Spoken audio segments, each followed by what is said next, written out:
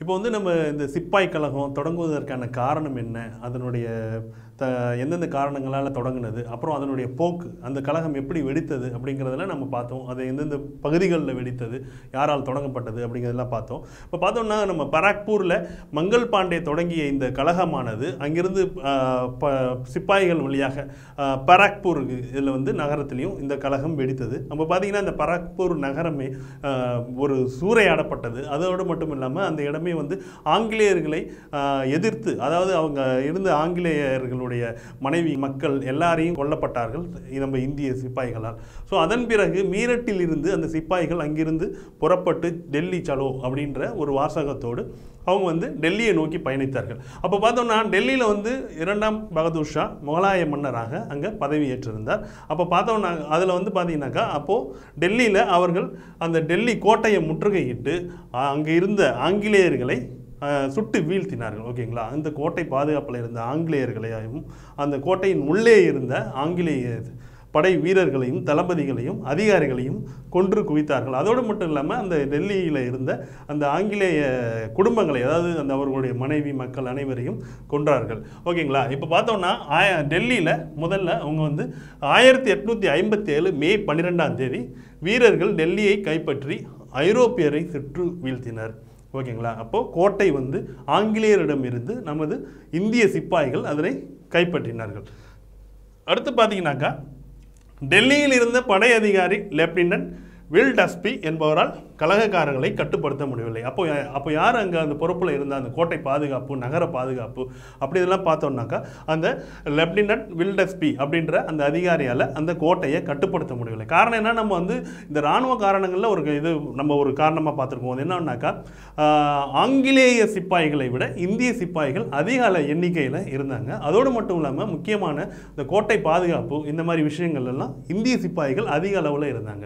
அதனால் வந்து இந்த கழகம் வந்து ப பாராக்பூர் மீரட் இந்த மாதிரி ஒவ்வொரு இடத்துலையும் இந்த கழகம் வெடித்த பிறகு இந்த கோட்டையில் இருந்த டெல்லி கோட்டையில் இருந்த நமது இந்திய சிப்பாய்களுக்கும் அந்த கழகத்தை பற்றிய தகவல் தெரிந்தவுடன் அவர்களும் நமது இந்த பாராக்பூர் சிப்பாய்களோடு மீரட் சிப்பாய்களோடு கலந்து கோட்டையை கைப்பற்றுவதற்காக உதவினார்கள். ஓகே ஓகேங்களா?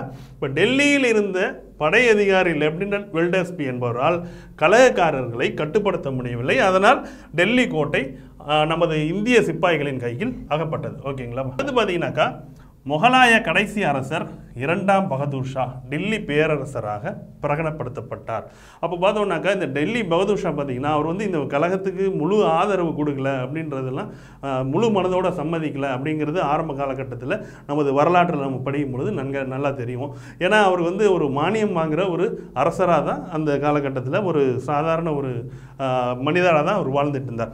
அப்போது இந்த சிப்பாய்கள் எல்லாரும் அதோடு மட்டும் இல்லாமல் அந்த பகதூர் கான் வற்புறுத்தல்னால இந்த இரண்டாம் பகதூர் ஷா டெல்லி பேரரசராக பிரகடனப்படுத்தப்பட்டார். அதாவது இந்தியாவினுடைய பேரரசராக அவர் மீண்டும் ஆஹ், முகலாயத்தின் கடைசி அரசர் இரண்டாம் பகதூர் ஷா பிரகடனப்படுத்தினார்கள். ஓகேங்களா? அடுத்து பார்த்தோம்னாக்கா நான்கு மாதம் டெல்லி போர் வீரர்கள் கையில் இருந்தது. இதன் பிறகு அந்த பகதூர் கான் தலைமையில் ஒரு சில அமைச்சர்கள் நியமிக்கப்பட்டார்கள். அதில் வந்து குறிப்பிடும்படியாக கோட்டை காவலுக்கு ஒரு சில அமைச்சர்களும் அப்புறம் நகர பாதுகாப்புக்கும் அப்புறம் வந்து பார்த்தீங்கன்னாக்கா அந்த அரசு அலுவலகங்களை கவனிக்கிறதுக்கு. ஸோ இதெல்லாம் வந்து அந்த ஒரு பழைய அந்த ஒரு அரசவை முறைகளை அந்த அவர்கள் கொண்டு வந்தார்கள். அதோடு மட்டும் இல்லாமல் ஒரு நாணயமும் அந்த அந்த காலகட்டத்தில் வெளியிடப்பட்டது. இப்போது அந்த பகதூர் ஷா இந்தியாவினுடைய பேரரசராக டில்லி பேரரசராக அறிவிக்கப்பட்டார். அது மட்டும் இல்லாமல் பகதூர் ஷா பெயரில் நிறைய சிற்றரசர்களுக்கு சுதேச அரசர்களுக்கு நிறைய வந்து தூதுகள்லாம் அனுப்பப்பட்டது. ஓகேங்களா? இப்போ வந்து அதன் பிறகு இந்த நான்கு மாதம் அதுவும் இந்த இந்த கைப்பற்றிய காலத்திலிருந்து ஒரு நான்கு மாத காலங்கள் இந்த டெல்லி கோட்டையானது ஆங்கிலேயர் கையில் இருந்து இந்திய சிப்பாய்களுக்கு வசம் மாறியது. அதன் பிறகு ஜான் நிக்கல்சன் தலைமையில் விசுவாசமுள்ள சீக்கிய படை அனுப்பி வைக்கப்பட்டது டெல்லிக்கு. ஓகேங்களா? இது வந்து ஜான் நிக்கல்சன். இவன் வந்து இந்த சிப்பாய் கழகம் வந்து தொடங்க தொடங்கப்பட்ட பிறகு இவனுடைய விடுப்பு காலங்கள் எல்லாமே அதாவது அவர் வந்து விடுப்பில் செல்வதற்காக இருந்ததை கேன்சல் பண்ணிட்டு அவர் வந்து எல்லா இடங்கள்லையும் பரவலான இந்த சிப்பாய் கழகத்தை அடக்குவதற்கான ஒரு பெரும்படையோடு எல்லா நகரங்களுக்கும் புறப்பட்டு வந்து கொண்டிருந்தார். அந்த வகையில் ஜான் நிக்கல்சன் டெல்லிக்கு அனுப்பப்படுகிறார். அந்த சீக்கிய படையினுடைய அந்த இந்த சீக்கிய படை வந்து பலம் வாய்ந்த சீக்கிய படையாக அப்போ வந்து கருதப்பட்டது. இவங்க வந்து எப்போதுமே ஆங்கிலேயருடைய பிரிட்டிஷ் படையில் ஒரு முக்கிய படைப்பிரிவாக இருந்தது. ஸோ நிக்கல்சன் தலைமையில் விசுவாசமுள்ள சீக்கிய படை அனுப்பி வைக்கப்பட்டது. ஓகேங்களா? மீண்டும் டெல்லி ஆங்கிலேயர் வருஷம் கைவசப்பட்டது. ஓகேங்களா? இதில் வந்து பார்த்தோம்னா ஃபர்ஸ்ட் வந்து சொல்லுவாங்க இந்த டெல்லி வந்து ஏற்கனவே ரொம்ப நாளாக ஒரு நான்கு மாதமாக முற்றுகையிடப்பட்டிருந்தது. அதன் பிறகு ஜான் நிக்கல்சன் வந்து வந்த பிறகு இந்த கோட்டை முற்றுகை வந்து கோட்டை தகர்ப்பாக மாறி டெல்லி கோட்டை கைப்பற்றப்பட்டது. இதுலேயும் நம்ம பார்த்தோன்னா நல்ல விரிவாக பார்த்தோம்னாக்கா இதில் இரண்டாம் பகதூர் ஷா அவர் வந்து தன்னுடைய அந்த க- அரண்மனையில் இருந்த ஒரு கல்லறையில் அவர் ஒளிஞ்சிருந்ததாகவும் அதை வந்து காட்டி கொடுக்கப்பட்டு அந்த ஆங்கிலேயர்களால் அவர் பிடித்து வரப்பட்டு அந்த அரண்மனையிலேயே விசாரிக்கப்பட்டது. ஸோ அதுக்கப்புறம் அவருடைய மகன்கள் வந்து கொல்லப்பட்டது. இந்த மாதிரி ஒரு பெரிய கதையாகவே அது இந்த டெல்லியில் நடந்தது வந்து ஒரு ஒரு பெரிய ஒரு வரலாற்று கதையாகவே நாம் பார்க்க முடியும்.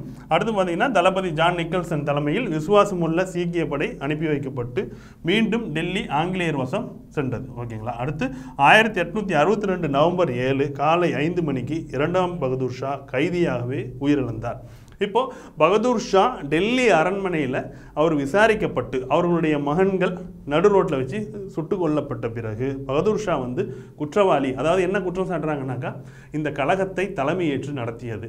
அடுத்து பார்த்தோம்னாக்கா ஆங்கிலேயர்களை ஒரு படுகொலை செய்யப்பட்டது. அதாவது ஆங்கிலேயர்களை எதிர்த்து ஒரு கொலை வெறி தாக்குதல் நடத்தணும் நடத்தியது மட்டுமல்லாமல் அவர்களை படுகொலை செய்தது. ஸோ அப்படி ஒரு குற்றம் சாட்டினார்கள்.